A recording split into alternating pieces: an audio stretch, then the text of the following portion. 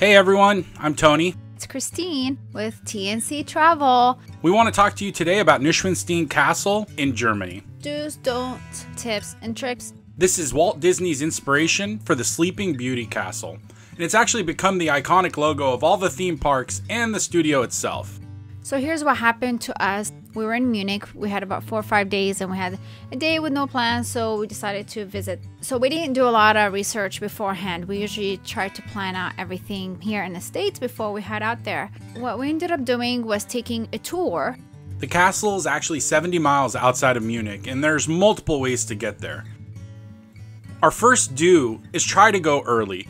Look, Germany is a hot spot for tourism, and this castle is no different. So we recommend trying to wake up early, get ahead of the crowd, and really just enjoy the castle to yourself. The journey there is so beautiful, luscious greens, country field, country like. It was beautiful. I definitely did enjoy looking out the window. And if you do go early, you grab a cup of coffee and a croissant, and it's so relaxing. One of our tips that we're going to recommend is do some research and download a self guided tour. Now, Rick Steves is obviously one of the best in the business, and on the website, there is a comprehensive guide you can read, and I'll add that link in the description below. But there's also a YouTube video that dives really deep into the castle, its history, and so on. I'll add that link in the description below as well. Tip number two is to go on your own. There are ways where you can take a train from Munich to the castle. It will save you a lot of money and time, and you can plan your day however you like. It's going to take a little bit longer. On the tour bus that we took, it took about an hour and a half to get to the castle, where if you take your own train, it's going to take about two and a half hours. We personally did not enjoy the tour that we took. Uh, the tour guide was very rude and just not very friendly and didn't really give us any interesting information. We're not even going to share the name of the company because that's just not how we roll. We're not going to put them down. He could be just one bad apple for an entire business that does a lot of good. So we're not going to share the name of the company in this video, but save yourself a little bit of money and take the train and be sort of on your own time compared to being in a group like we were. You get to the castle. What do you do first? The castle it sits high on a mountain. You can be a champ and hike it up. Hey, why not show off your muscles? Or you can do what we did and we bought a ticket for the bus to take us up to the castle to the entrance.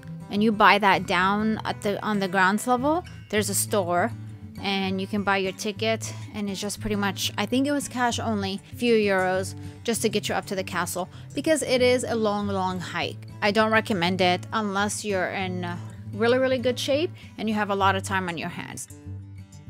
Our next tip is actually an obvious one, but we're surprised at how many people we've given this advice to over the years pack plenty of water and other essentials like hats, jackets, sunscreen, that kind of stuff.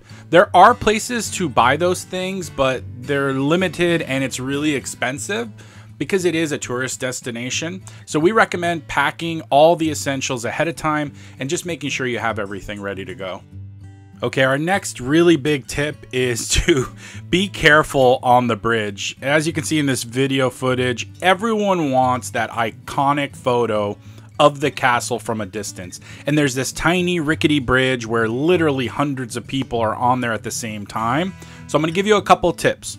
Strap your camera, your GoPro, your phone, whatever it may be to your wrist if possible. Now, I know that doesn't make sense with some phones and cases, but with my GoPro and some other cameras on the market, strapping the camera to your wrist is the way to go. And just to be sure you don't drop it into the gorge. Uh, also, another tip is there's only really one main entrance onto the bridge. I recommend walking to the farthest corner away from that entrance where there's a lot less people. You're not going to be fighting for room at the center of the bridge, and you're going to actually get a better angle of the castle and the mountains that are behind it. So, a couple tips and tricks that we learned while we were there so that you don't repeat the same mistakes. Get on the bridge, walk all the way to the opposite side, take your pictures, and then come back as an official don't, we don't recommend you take a tour to actually get to the castle. Now, there's other ways of getting there. We've already discussed the train. We've already shared with you our negative experience with the tour that we took, but also we want to dive a little deeper. You can skip nonsense like we did, like stopping at a gift shop and we actually stopped at another castle or palace, if you will.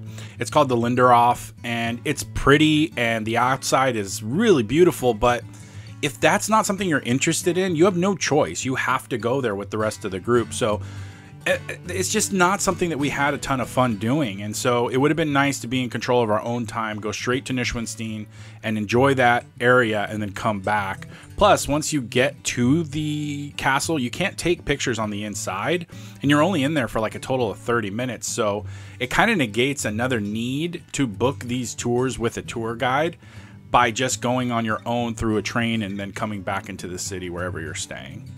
We do recommend that you walk the grounds and enjoy the structure from multiple angles. The structure itself is stunning, and you're going to enjoy it just by getting to the area, walking around, taking pictures from the bridge, but you're also going to enjoy the landscaping that surrounds the castle. There's some chairs, benches you can sit around and just enjoy the scenery. It's beautiful. I think the, the surroundings, the yard of the castle, are just as beautiful as the castle.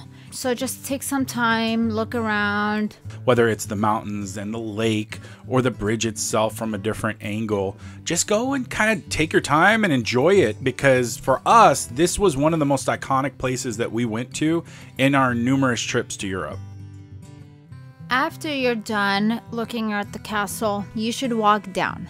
Walking down to the grounds where most of the shuttles are, or the buses, or where you might catch a taxi to back to the train station, is a very easy walk. You're going downhill a lot. It's beautiful. We definitely, definitely enjoyed it. So, highly recommend you do that. Take the bus uphill, walk downhill. It's breathtaking. It'll take about 20 to 25 minutes, but you take your time. Go at your own pace. There's no rush. This is your vacation. Now, hopefully, this video has given you a little bit of insight into the journey to Neuschwanstein Castle. We know that we couldn't find a ton of information when we went online ahead of the trip. We made a lot of mistakes along the way that cost money that we didn't necessarily need to spend and we could have spent it on something else. So, if you have any questions, leave them in the comments below. We're usually pretty quick to respond. And check out some of our other videos on our page, like our Colosseum do's, don'ts, tips, and tricks. And like and subscribe if you like what we're doing. Thanks so much for watching, guys. We'll talk to you soon.